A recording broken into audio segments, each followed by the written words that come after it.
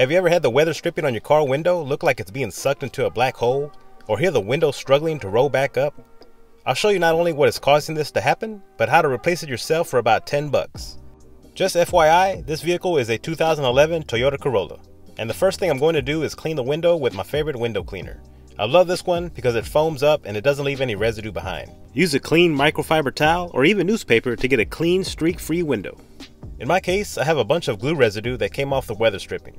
If you have any type of foreign material on a glass window, get yourself a razor blade like this and spray the area with some glass cleaner or at least some warm soapy water. Now a little backstory, this is my mother-in-law's car and she used to have tint on her window. One day she was trying to roll her window up and the window struggled to rise and she was left with a bunch of glue residue on the glass. She would clean the glue off but it would keep coming back, so she decided to call me. I actually removed all the tint with a heat gun, a razor, and some patience. It was too late in the evening to record it, and I apologize, but I think I'll have another opportunity to remove tint on my son's car in the future. And I just decided to clean the outside window for good measure. Now with the window rolled down, this is the weather stripping that has given us the issue, and I'll show you in a moment what it looks like. Here I have a brand new secondhand weather stripping that I got from the junkyard for $10 and change. This is what it looks like, and I'll show you how to install it. Real simple. First, let's open our door, and we will remove two screws here and here. I know the vehicle doesn't look very tidy, but that was done on purpose to make another video on how to detail a car. Alright, go ahead and pop this little cap off. I'm using a pick, but you can use a screwdriver. Remove the Phillips screw inside, and it may be a little difficult to remove due to the limited space in my gargantuan hands. Next up, go to the door handle and use a pick or screwdriver to pry the cover off. You can also get your hands on a panel removal toolkit which protects your car from damage. I'll leave a link in the description. Right behind the door handle is where another Phillips screw is located. Go ahead and remove that screw as well. Put the screws somewhere safe so you won't lose them. Next go to the top right corner of the door and simply pull back the cover that houses the tweeter speaker. You don't have to unplug anything, just let it get some air while we work.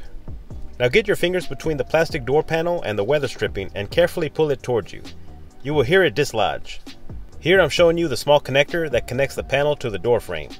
Here's the hole that it goes into when you're ready to put the panel back in place so you can line everything up. Now pull the door panel back a tad and lift up the weather stripping. It's only held on by friction, no glue. Just keep lifting it up all the way down the length of the door. Use caution if you plan on reusing this because it bends very easily in half.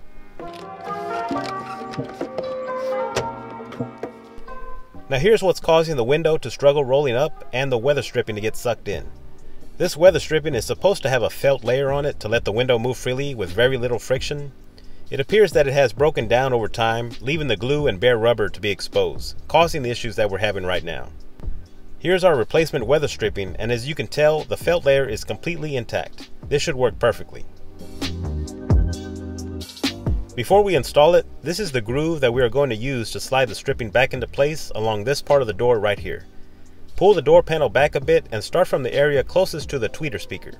Line it up on the groove and give it a moderate push down.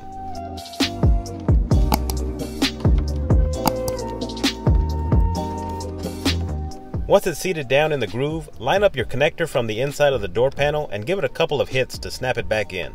Same for the other side. Before placing the speaker cover back in, locate the small cavity and line it up with this part right here. Snap it back into place. Place your screw back in and snap the cover back on.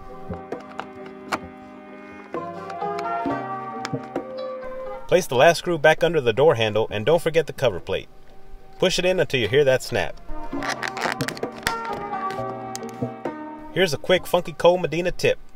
In order for your windows to stay rolling up and down smoothly, get some white lithium grease, again not sponsored, spray it in the inside groove where the window slides up and down, do it to both sides, and clean up any excess spray. Roll up the windows a few times to work that grease down the track, and it looks like we fixed it. You know you have to keep the mother-in-law happy. If she's not happy, she gets snappy. Here's a sneak peek on the next video where I'll show you how to tint a window and go from this to this. Thank y'all for watching. I'll leave you with a couple of videos I think you'll enjoy. I'll see you on the next video, and as always, have a blessed day.